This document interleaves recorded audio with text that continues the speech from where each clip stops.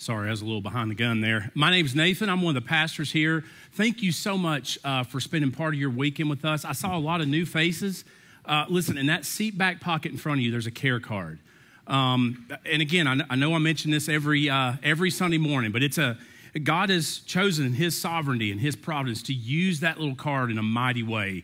Um, if you've got any questions, um, if you're struggling with anything, uh, please, it'd be a huge favor to us um, if you would fill out that care card, and either Ryan Sisney uh, or myself will reach out to you uh, this week, answer any questions you may have. We've got a baptism service coming up in, in a few weeks. We're excited about that. Maybe that's your next move. Uh, if you're in Christ uh, and you've not been baptized, I, that's your next move, period.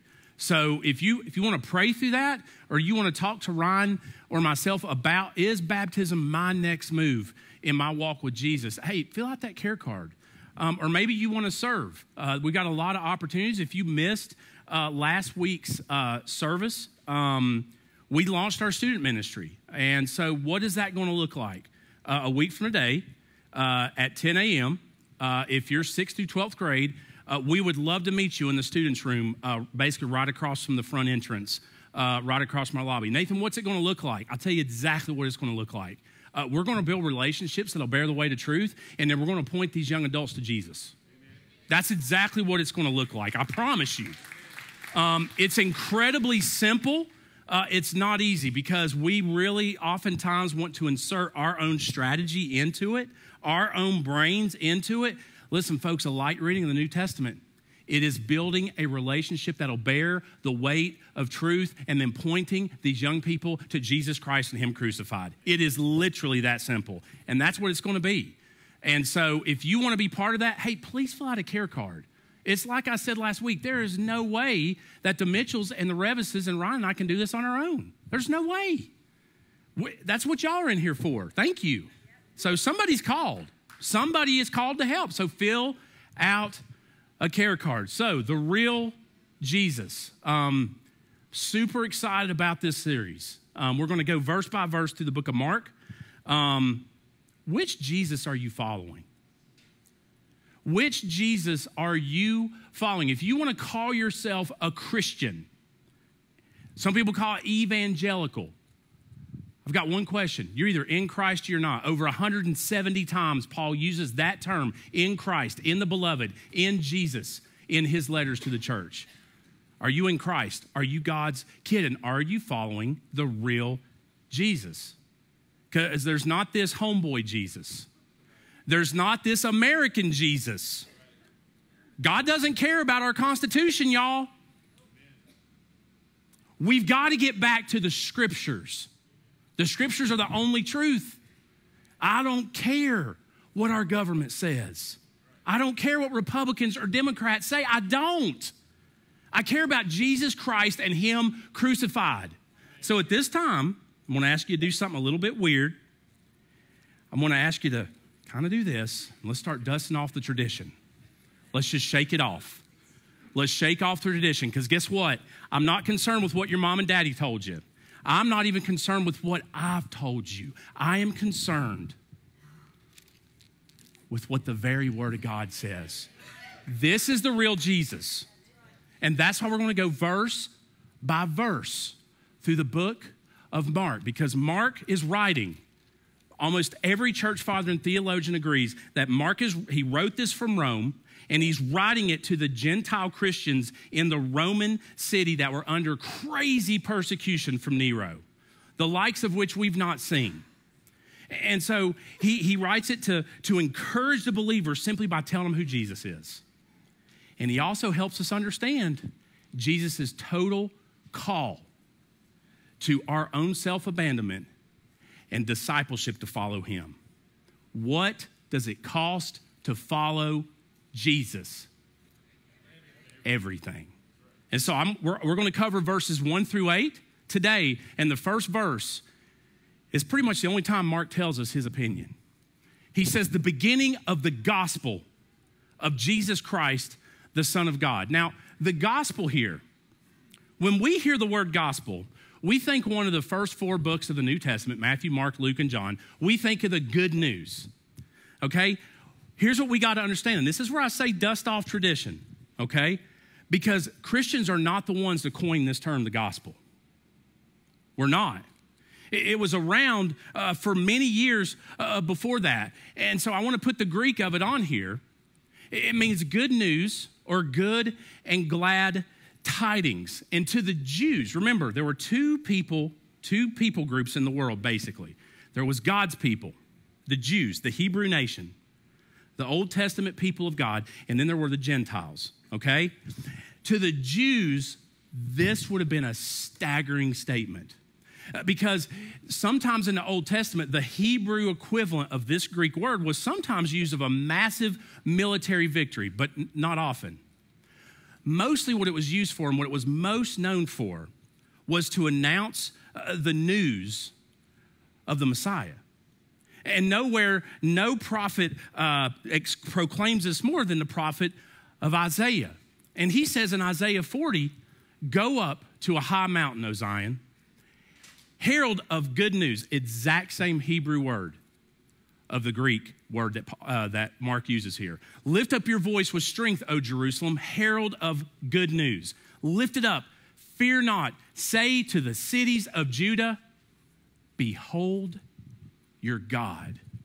So when Mark echoed out this first verse, the Jewish nation would have been like, Oh my goodness, the Messiah is coming.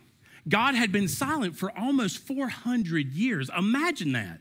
He spoke through all the major prophets and the minor prophets in the Old Testament. That was just incredible. And since the book of Malachi, God had been silent for almost four centuries. Imagine how perplexed the Jewish nation must have been. Isaiah says in a few chapters later in Isaiah 40, Behold, the Lord God comes with might and his arm rules for him. Behold, his reward is with him and his recompense before him. And again, that good news is the exact same word. It's more than just a military victory, it's the, it's the coming of the Messiah. It makes it the best news possible. But here's the thing this term wouldn't have just resonated with Jews, it would have resonated with Gentiles. You see, there's an inscription that archaeologists have uncovered. You can read about it. Uh, that was about 9 BC that announced the birth of Caesar Augustus, who, who, was supposed to be the divine holy one, the king. In other words, it was a capital offense in Rome during those days to not worship Caesar. Uh, that's what got a lot of the early church in trouble, is because they refused to worship Jesus, because we worship Jesus Christ and him crucified. But the inscription on it, it had glad tidings, an announcement of this king of Rome. And so the, even to the Gentiles, it would carry this meaning of literally a new situation for the world. Like the situation of the world has literally changed. It would have been the announcement of a royal pronouncement. The most powerful monarch on earth has arrived. And it would usher in a new order of salvation. And so, under the inspiration of Holy Spirit, Mark uses this word to announce the arrival of the king. You see, he wants to make sure there's no mistake that every word points to the person and work of Jesus Christ and him crucified. Every bit of it does. Now, the gospel is not simply a method of changing uh, our life or receiving salvation. Uh, we got to understand that is not the intent that Mark used when he wrote this. It's not how we get a personal relationship with God. No, no, no. When a new king has come and a new monarch has conquered an area, the people there tremble because the king is now in rule. And so those who want to who want to have a relationship with the king, it causes them uh, to bow their knees in submission and authority to him. That's the kind of wording that Mark is using here when he says the word gospel. He is writing about the conquest and the triumph of a new king. You got to remember, it was hundreds of years later before our canon of the 66 books that we have here at Hendersonville Church and, and evangelical churches have, before Matthew, Mark, Luke, and John were called gospels. And again, we have got to look at the text the way God meant it to be looked at. And so it's the announcement of the king. Well, who is the king? Well, Mark makes sure there is no confusion on that. The second part of verse 1 of Jesus Christ the Son of God. I literally could preach a series on this right here. I could. I'm not going to, but I could. Here's the thing the name Jesus, it, it, it, the, the Hebrew uh, equivalent of it meant Yahweh is salvation. And so it was, it was a long time before it was prophesied that he would be called Jesus. You got to remember how Jesus even got here. He was born of a virgin. And, and that she was engaged, she was betrothed to a man named Joseph. And so Joseph was agonizing over what he should do. His, his, his fiance that he hadn't been with was, was with child. And so he was contemplating about issuing her a certificate of divorce, which under the Old Testament law, he was completely justified in doing so. And an angel of the Lord comes to him and, and tells him, No, no, no. No, the Holy Spirit has caused this to be happen. And then he tells Joseph this She will bear a son, and you shall call his name Jesus, for he will save his people from their sins. Again, folks, this is fulfilling another prophecy from 700 or so years before in Isaiah, where he would be called Emmanuel, God with us, that Greek equivalent. And what it is, is Jesus. And it's incredible the way all this happens. And so, again, we're going to unpack who the real Jesus is today, some, some clear aspects to help us understand his words and actions as we go through these beautiful chapters and go on this journey with Mark through his account of Jesus. So, the first thing of Jesus is this Jesus 100% man. This is huge.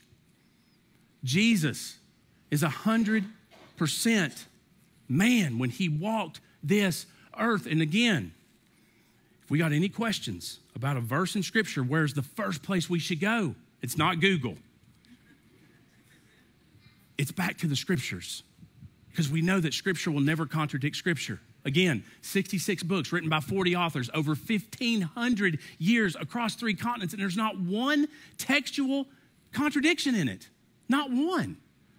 And so, John's account, the Apostle John, he, says in, in, in verse 14 of the first chapter, he said, And the Word, meaning Jesus, became flesh and dwelt among us. And we have seen his glory glory as of the only Son from the Father, full of grace and truth. And again, remember, God had been silent for almost 400 years.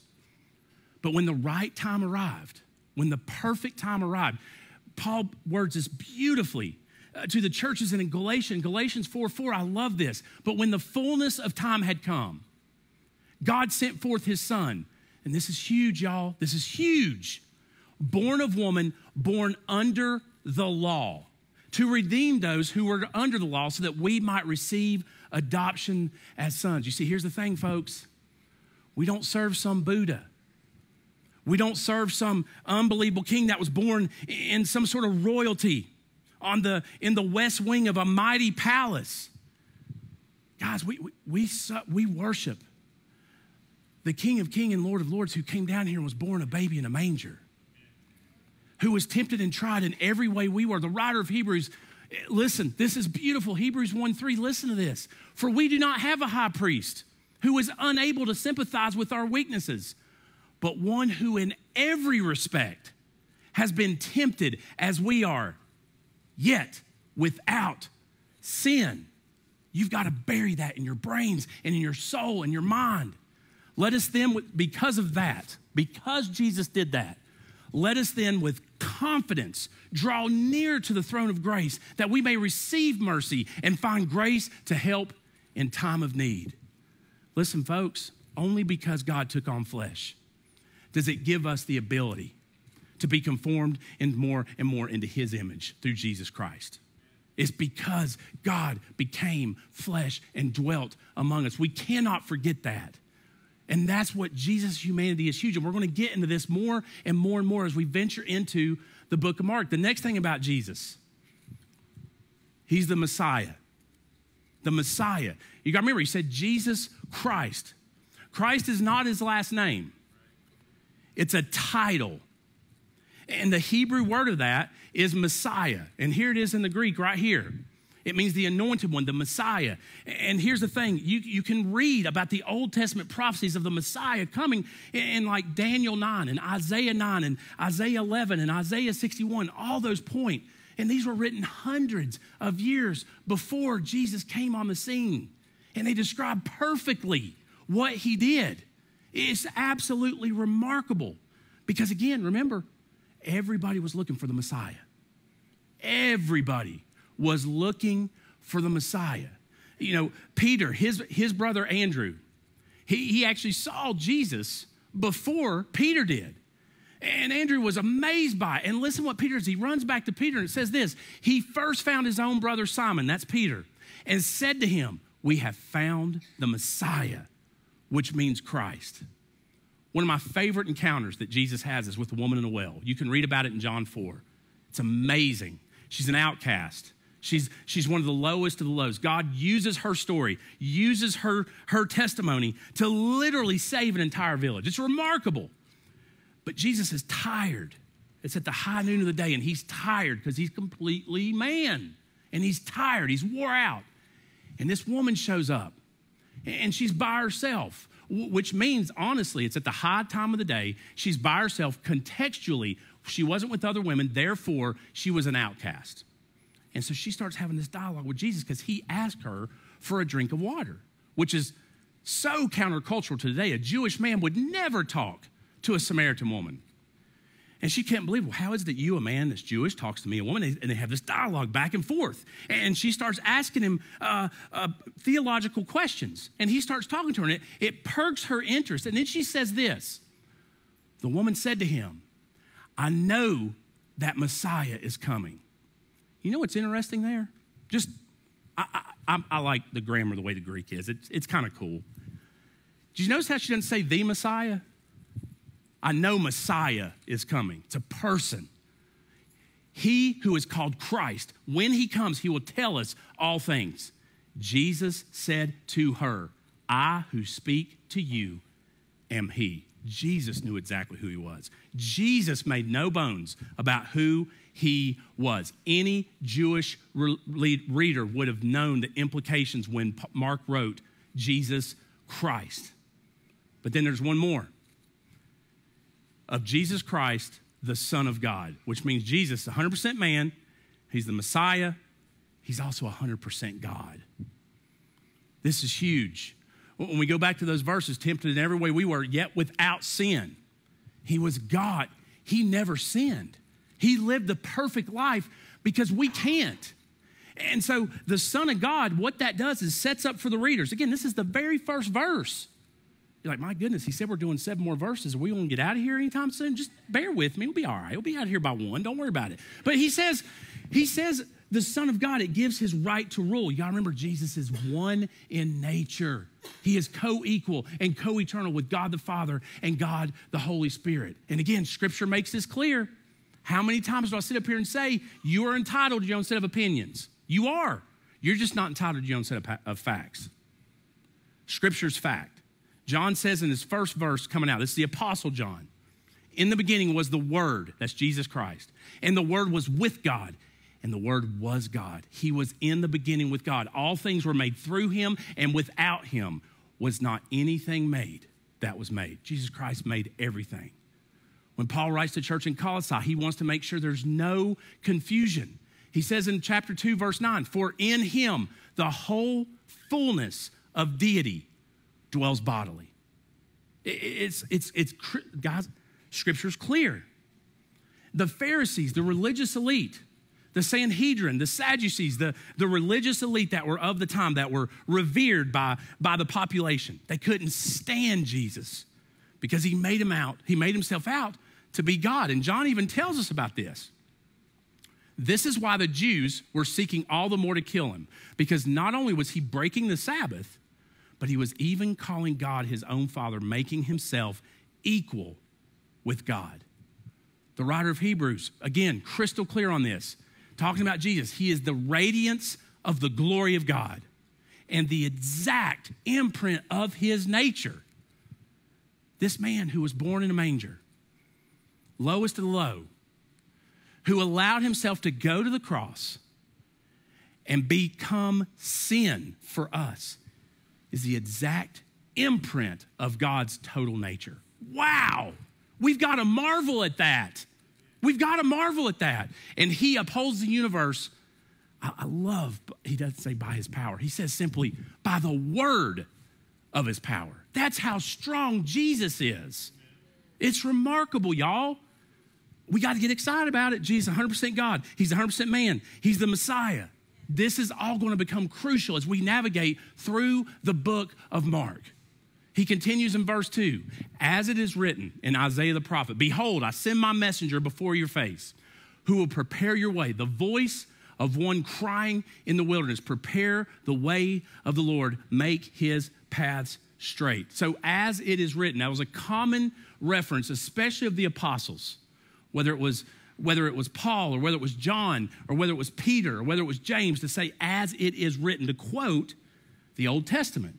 And so that was super common. Now, what Mark's doing here, he is quoting two Old Testament pa- uh, passages here one from Malachi and one from Isaiah. And so it wasn't uncommon that when someone says, as it is written, they would reference the greater of the two prophets.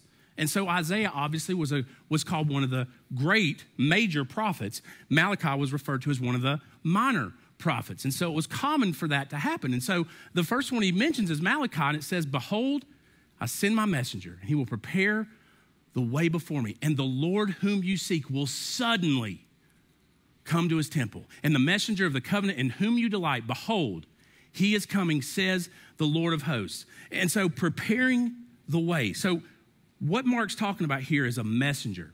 A, a, herald almost, someone that was going to prepare the way of a monarch, which was common at that time. And so we're going to get in that in just a moment when we reach a guy named John the Baptist. But it, it's crazy because he doesn't just say just any king. He says the Lord will suddenly come. He's talking about God. He's not preparing it for just some old earthly king. He's preparing the way for God to come to his people. It's amazing. And then the, the verse of Isaiah he quotes is this Isaiah 43. It says, A voice cries in the wilderness, Prepare the way of the Lord, make straight in the desert a highway for our God. Now, now here's the thing when it says prepare way and make straight, what he's talking about there is spiritual path. The spiritual path. In other words, turning away from sin and turning towards righteousness. That is called repentance. That is a big word. That is a word you hear up here a lot. That is a word you're going to continue to hear a lot because without repentance, there is no remission of sins. There must be repentance. And that's what the messenger was sent, that was prophesied for 700, 800 years. Now, here's the other thing that's cool with him referencing these Old Testament passages. Jesus is coming wasn't accidental, it wasn't an afterthought. Because I say this with extreme reverence.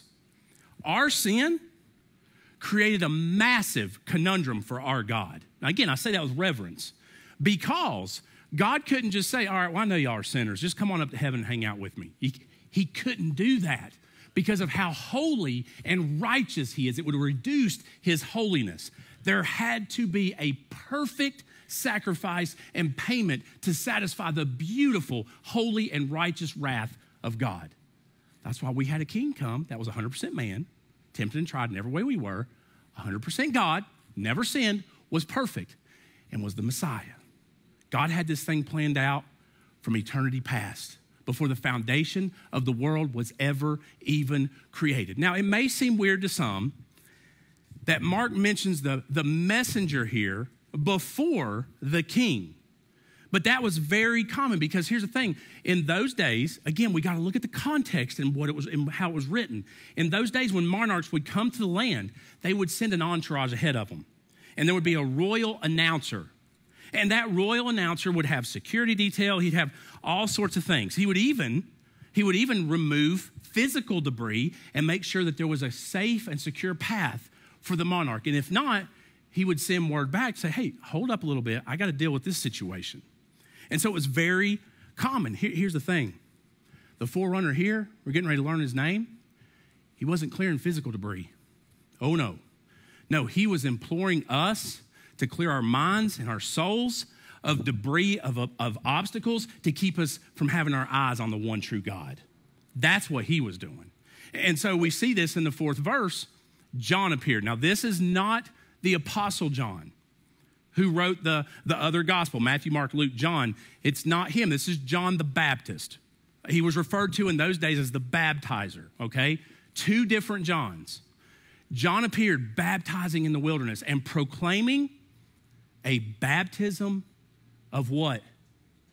Repentance for the forgiveness of sins. Now, here's the deal we got to understand what this baptism of repentance means because this is a big, big, big, big, big, big, big deal, okay? Here's the thing John's baptism was a one time act, and it was foreign to that time. The only thing close to it was when Gentiles would convert to Judaism. They would go through this one time washing ceremony where they would reject paganism and reject their sinful ways and commit to following God, Yahweh, the God of the Old Testament, which is the exact same God of the New Testament. And so basically, this was common for Gentiles. But to ask Jews to do it would have been radical, it would have been unheard of for Jews to be asked to reject their ways and get themselves ready for their God to come. Because here's the thing here's what it calls them to understand regardless of your lineage, regardless of your practices, regardless of your religiosity, you are unfit for the kingdom of God. Period. And we now know outside the blood of Christ. Now, they wouldn't have known that yet. They would not have known that yet. But being neither Jewish nor even a Pharisee or adhering to strict Pharisaical laws would make them fit to gain heaven. Instead, what was required was a change of heart, it was repentance. That's what was required. And, and it, it, implies the complete change of one's mind to head in the opposite direction. If you look at this Greek here, uh, that meta carries the, the term. If you look at metaphysics, it's kind of after or beside or to turn. And then noia comes from the Greek word nous, which is mind. It's a complete change of the mind and heart and transformation. And basically, it carries this connotation to change one's way of life as a result of the complete change of our mind and thought and attitude towards sin and righteousness. It causes a complete change. Here's the thing though it's not just intellectual. And again, you hear me say this, I get it, might bend some people out of the frame. I don't care how much scripture you got memorized. I don't. You'll never have as much memorized as Satan does. Never. He knows it backwards and forwards. He knows it in the Hebrew. He knows it in the Greek. He knows it in the, in the Septuagint. He knows all of it. It's a heart change, it's an emotional change, it's visceral. It's to give you this sense of almost this healthy uh, conviction, which is kind of like a remorse and a sorrow for your sin against God. And it's, it's remarkable. And here's the thing the Old Testament prophets talked about this all the time. And again, they're talking about a complete and total change, a complete conversion. Now, you got to remember something. The people that God, especially Jesus on earth, went after the most were the ones, from an earthly standpoint, seemed the farthest away from him. Galilean fishermen, a zealot, a tax collector. It's remarkable. The people who seemed closest to God the Pharisees, the religious elite, the Sadducees, the Sanhedrin, were the farthest away. You got to remember, it's not your distance from God, it's the direction you're headed. Where are you headed? Are you headed towards God, being conformed more and more and more into His image, or are you turning away? You've got to remember that. True repentance is a complete transformation of one's nature, and it only comes via the Holy Spirit, via God's grace. It is not anything we do, it is a gift from God. One of the coolest accounts of this is when Peter he, he goes to the Gentiles, to a dude's house named Cornelius, and he watches these Gentiles receive the Holy Spirit, and he's blown away. And he goes back to Jerusalem to report it to the people called the Judaizers, uh, the ones that were staunch in their Jewish religion. They couldn't imagine that God would count Gentiles worthy. But Peter explains all this to him. He says, Man, who am I? Who am I to get in the way of God's plan? And listen how God changes their, their hearts. When they heard these things, they fell silent uh, that Greek there, they started contemplating. And then they glorified God, saying, Then to the Gentiles also, God has granted repentance that leads to life. Again, folks, until there's repentance, we've got to repent. It's not asking Jesus into your heart. It's not. I'm sorry. I know that makes some people feel offended, but it's that's not what this teaches. And I've got to teach what this teaches. And you know, Paul made this clear when he wrote to the church in Corinth. He said, For godly grief, that Greek there's like conviction. It's that healthy conviction that the Holy Spirit gives you. Produces a repentance that what? What does it do? Leads to salvation without regret. Whereas worldly grief, that's guilt, that's shame, thinking I can't be good enough, produces death. Here's the thing, folks. Sometimes I enter the trap of my flesh and the enemy where I feel guilty or I feel ashamed of my past or what I've done. Listen, here's what I know though guilt and shame should have no place in a Christ follower. It's done, it's washed clean in the blood. Done. But conviction is a beautiful evidence of the Holy Spirit. And for the Jewish people that John the Baptist called, their initial evidence of that would be to submit to baptism. And here's the thing the self righteous and prideful would have never, would have never agreed to do this baptism ritual. They wouldn't have because John was proclaiming a baptism of repentance to come out to the wilderness. Number one, it's in the wilderness. It would have been highly inconvenient. It would have been highly inconvenient for them to have come out there. And here's the thing John's proclaiming this repentance to clear the way. Now, John the Baptist was a fireball, and his preaching was, it was, man, it was convicting. I mean, he focused on judgment and divine wrath. That's what John the Baptist focused on when you read scripture. One time he's baptizing, and the religious elite just come to check it out. And listen what he says to them. But when he saw many of the Pharisees and Sadducees coming to his baptism, he said to them, I'm just going to tell you contextually, there's not a more insulting term here. There's not. You brood of vipers, who warns you to flee from the wrath to come. Folks, when we hear about God's wrath, we think something negative. It's not, it's beautiful. You're like, Nathan, you're crazy. No, I'm not. He's holy. His wrath is beautiful. When I'm in Christ, guess what? I don't receive any of his wrath. None. Again, it's why I say you're either a child of God or you're a child of Satan. Which one are you? Well, Nathan, that's offensive. That's, that's what Scripture teaches. That's what it teaches. You're either a child of God or a child of Satan. That's it. John's fiery sermons force people to address their sin. When's the last time we've ever addressed our sin nature? And again, I'm not talking about guilt and shame. That's got no place amongst us who are in Christ. We're free from it, but to at least acknowledge it and know the holiness of God. Because here's the thing it's like Ryan said a couple of weeks ago if there's good news, what's there also got to be? Bad news. Before they could hear the good news of salvation, they needed to hear the bad news of their sin and their, and their separation from God outside of the Messiah. They had to hear it. John was preparing the way.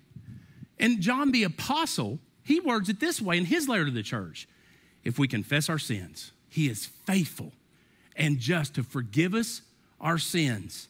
And to what? Wow, cleanse us from all, not most, not 99%. Listen, folks, there is not an ounce of unrighteousness in me, not because of anything I've done, but because of what Christ did at the cross. His blood has washed me clean. Are you washed clean? Are you God's kid? It's only through this, through this genuine faith and repentance, could their sins be forgiven. And listen to the result. This is amazing. In all the country of Judea and Jerusalem, we're going out to him and we're being baptized by him in the river Jordan confessing their sins. What a humiliating act these people had to go through. First off, they had to travel there. It's not like they could get in their car, type on maps, uh, River Jordan, where John the Baptist is, navigating now. Okay, we'll be there in 15 minutes. No, no, they had to walk. And then they had to get in this river and confess their sins. And it, here's the thing I, it says all.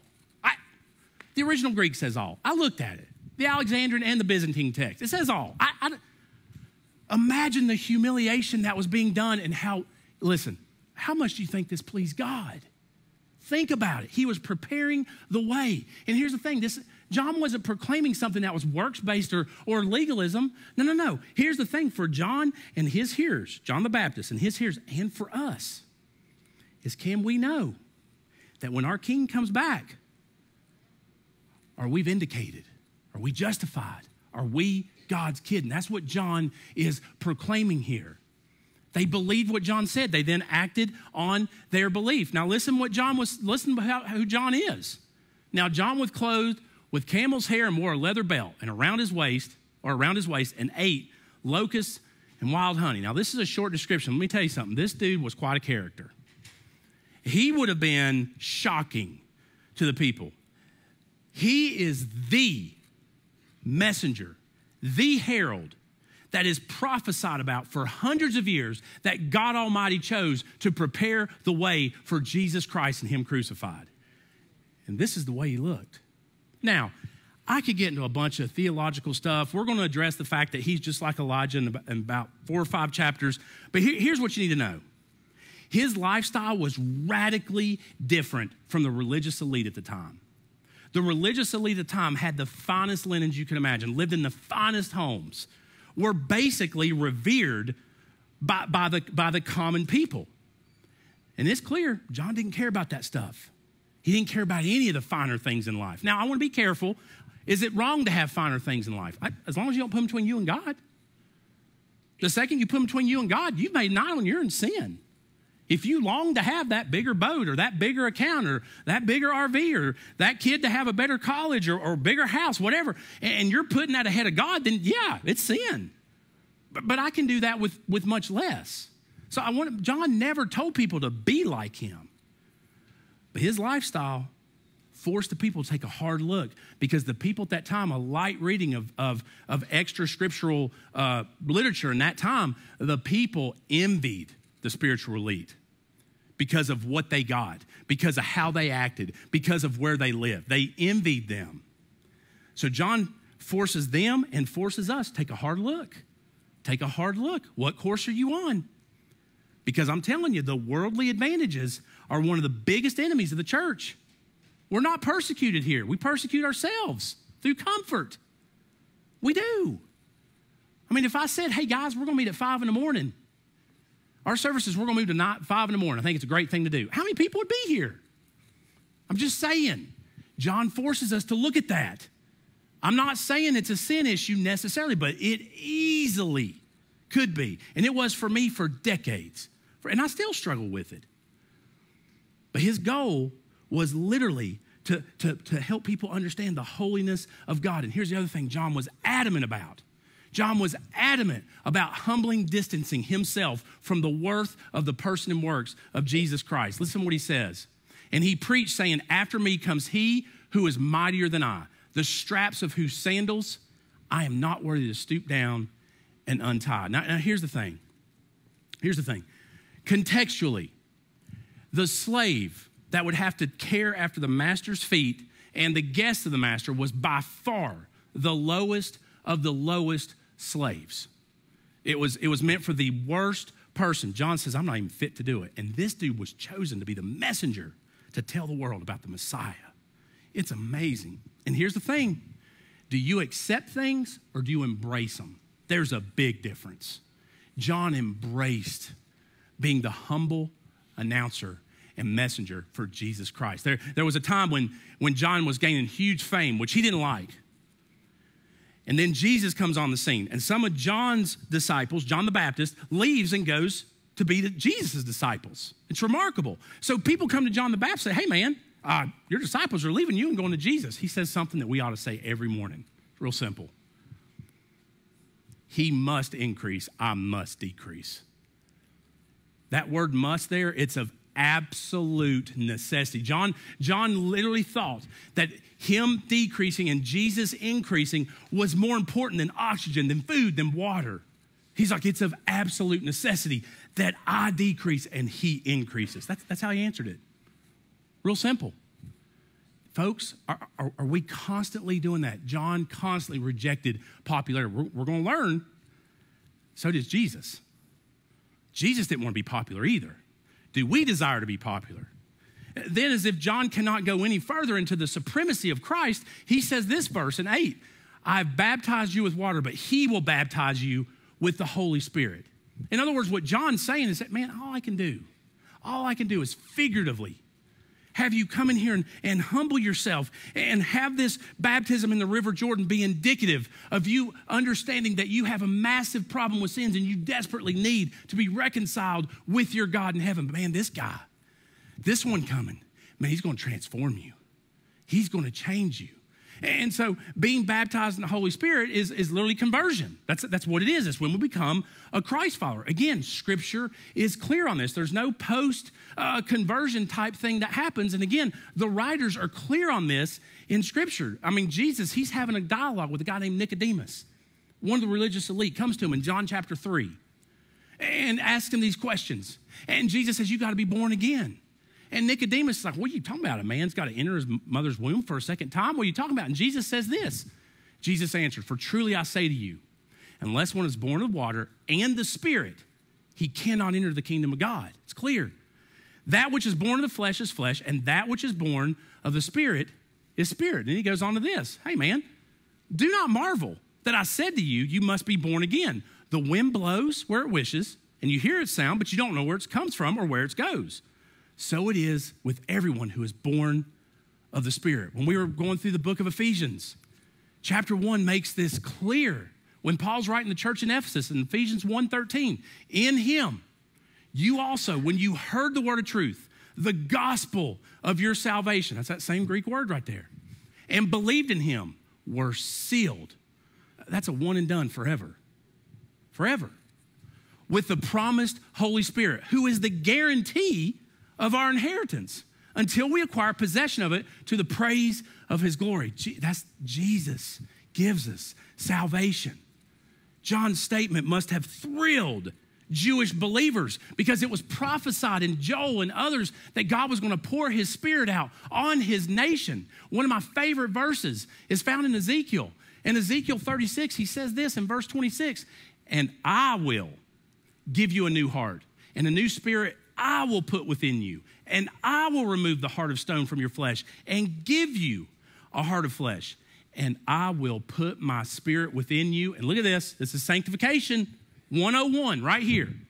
I will put my spirit within you and cause you to walk in my statutes and be careful to obey my rules. This supernatural power distinguishes this coming king from any other monarch that's ever come. Mark wants to make sure his readers understand who Jesus Christ and Him crucified truly is.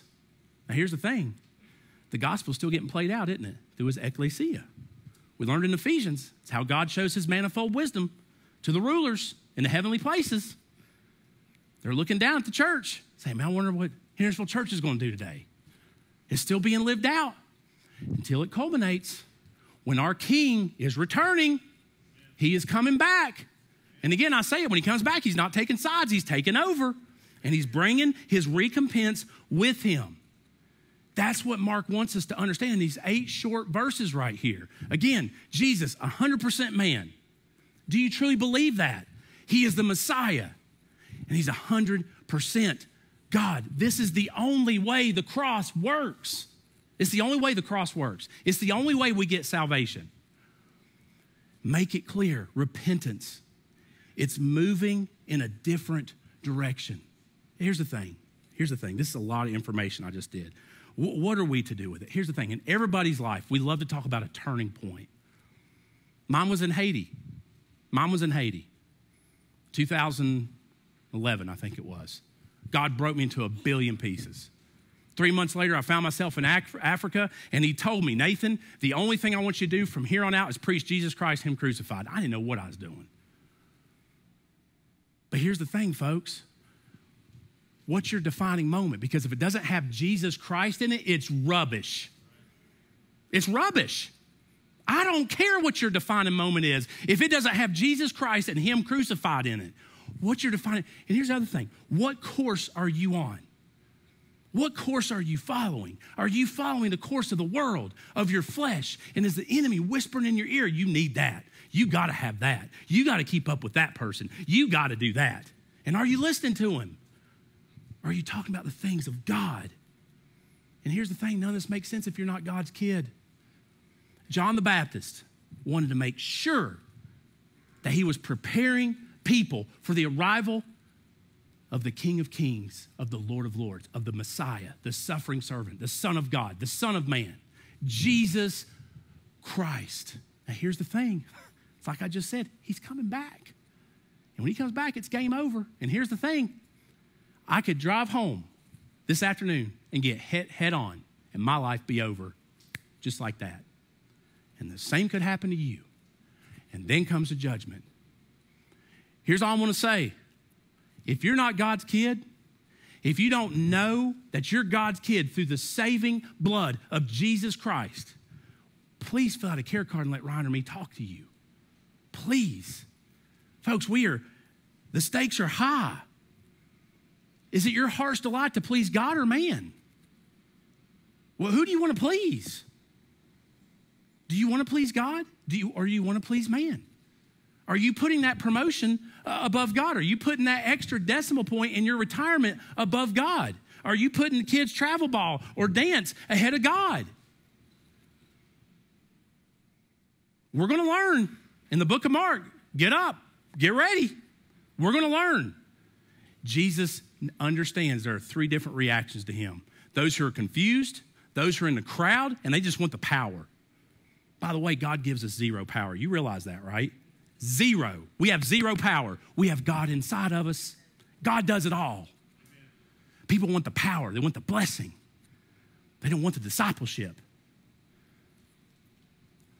Are you in a, in a, in a course of repentance? Because that's all John the Baptist preached was a baptism of repentance and confession of sins. Folks, let's surrender to God. Let's surrender to Him. Let's wave the white flag and let's surrender and allow the Holy Spirit to sanctify us as only He can. Listen, there is no greater blessing than to be shaped and molded and crafted into the image of Christ by the gentle, beautiful working of the Holy Spirit inside of us. Which Jesus are you following? Let us pray. Heavenly Father, God, John the Baptist must have been a character. Lived in the wilderness, ate locusts and honey, just flat out called the Pharisees a brood of vipers. Wow.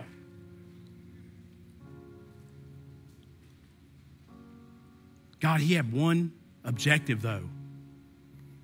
And God, he wasn't perfect. There's only one person in the, in the Bible that's perfect, and that's Jesus. But God, He had one purpose, and that was your will. And He proclaimed not a baptism of prosperity, not a baptism of power, not even a baptism of comfort or of health. God, He, he proclaimed a baptism of repentance. It's beautiful. God, may we, we focus on this. And God, may we resonate on it. To, to pray beautiful scriptures like, like Psalm 51 and, and Psalm 139, God, for you to search our heart and to point out any sin in our lives, whether that's bitterness or pride or, or lust or envy or unforgiveness, God, whatever it is.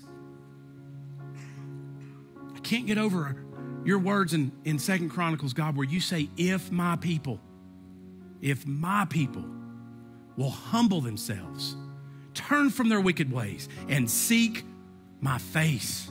He didn't say if my adversaries, if people who don't know Jesus. No, no, no. He said if my people. God, those of us in here who are in Christ, we're your people. God, let us humble ourselves. Let us turn from things that are not your best for us. Let us seek your face. And God, you're clear. You will heal our land. Thank you for what your words taught us, God.